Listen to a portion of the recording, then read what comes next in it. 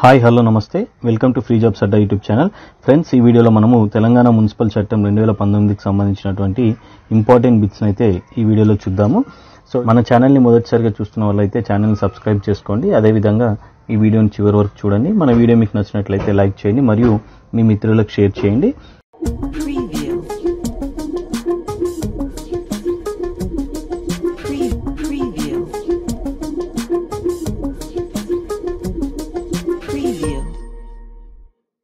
Telangana municipal చట్టం రెండు వేల పంతొమ్మిది ఎప్పుడు అమల్లోకి వచ్చింది?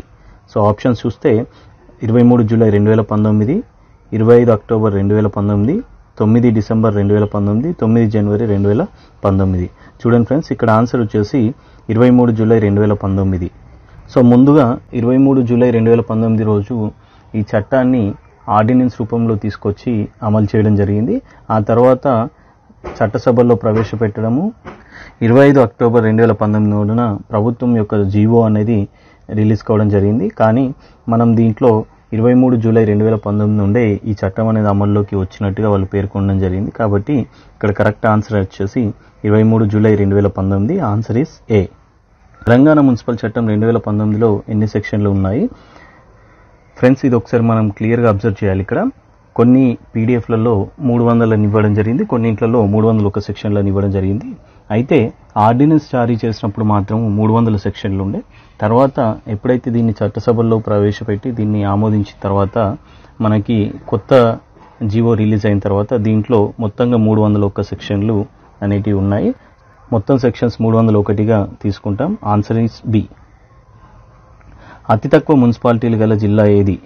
సో ఏ జిల్లాలో అతి తక్కువగా మున్సిపాలిటీలు ఉన్నాయంటే ఆన్సర్ వచ్చేసి జయశంకర్ భూపాలపల్లి తెలంగాణ మున్సిపల్ చట్టం రెండు వేల పంతొమ్మిదిలో అనుచిత కులంలో అనే నిర్వచనము రాజ్యాంగంలోని ఏ ఆర్టికల్ని తెలుపుతుందని ఇక్కడ అడగడం జరిగింది.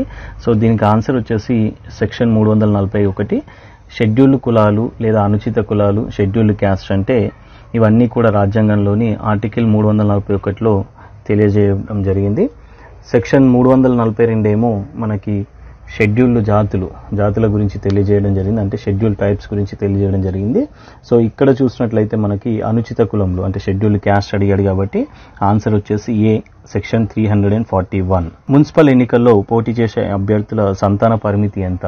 సో ఇక్కడ సంతాన పరిమితి అనేది లేదు. ఆన్సర్ వచ్చేసి డి.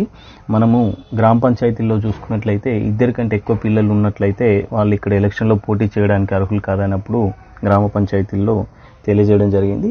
మున్సిపల్ చైర్పర్సన్ ఎన్నికల్లో ఎవరెవరికి ఓటు హక్కు ఉంటుంది? సో చూడండి ఇక్కడ.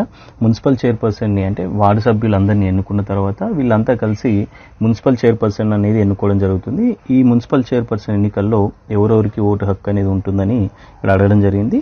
ఇందులో కౌన్సిలర్ మరియు ఎక్స్ అఫిషియో సభ్యులు. కౌన్సిలర్ అంటే ఇక్కడ వార్డు సభ్యులు కూడా కావచ్చు. అదేవిధంగా ఎక్స్ అఫిషియో సభ్యులు అనే వాళ్ళు ఉంటారు. వీళ్ళకి ఇక్కడ మున్సిపల్ చైర్పర్సన్ని ఎన్నుకునే అవకాశం అయితే ఉంటుంది. వీళ్ళకి ఓటు హక్కు కూడా ఉంటుంది.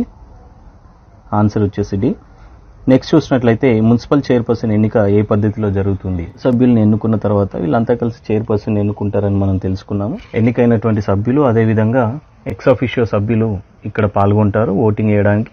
ఇందులో ఏ పద్ధతిలో ఈ ఓటు అనేది వేస్తారని చెప్పేసి ఇక్కడ అడగడం జరిగింది. ఇది కంప్లీట్గా మోజువా అనే ఓటు ద్వారా ఎన్నిక అనేది జరుగుతుంది. అంటే అభ్యర్థి పేరు చెప్పినప్పుడు చేతులెత్తి ఎన్నుకోవడం ఈ దీనికి ఆన్సర్ వచ్చేసి ఏ.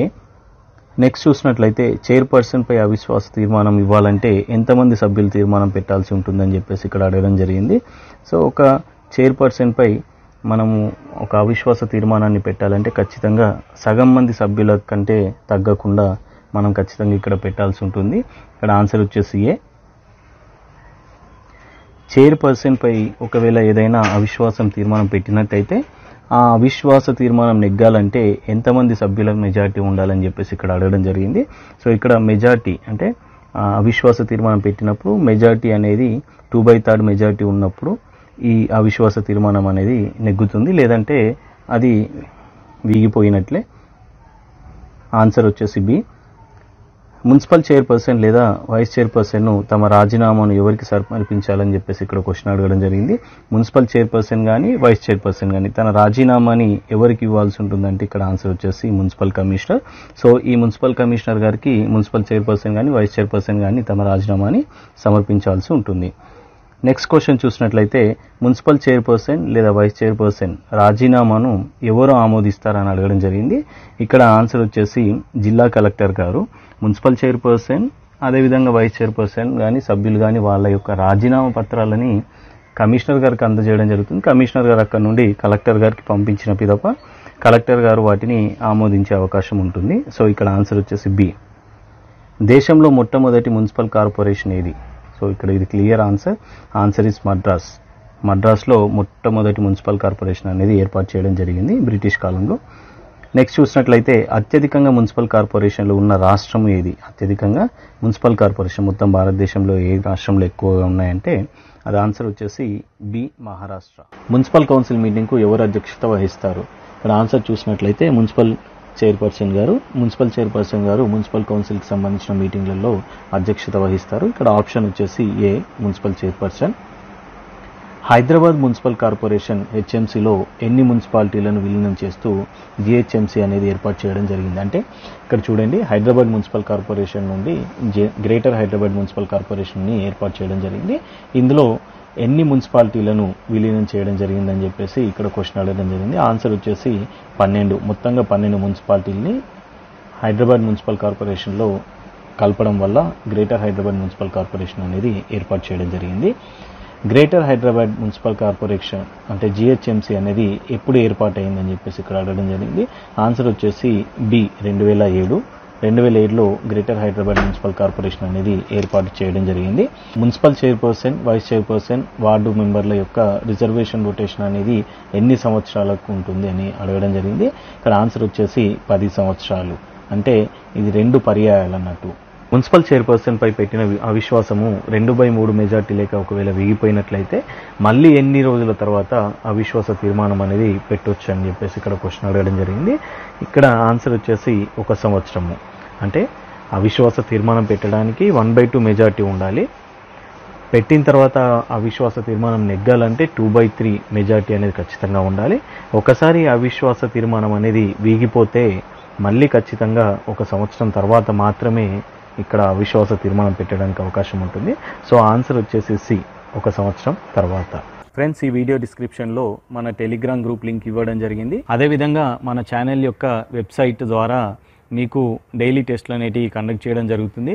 ప్రస్తుతానికి దాంట్లో మనము జనరల్ స్టడీస్ టెస్ట్లు అనేటివి కండక్ట్ చేస్తున్నాము. అతి త్వరలో తెలంగాణ పురపాలక చట్టంకి సంబంధించినటువంటి అంశాల మీద మీకు డైలీ టెస్ట్లు అనేటివి నిర్వహించడం జరుగుతుంది.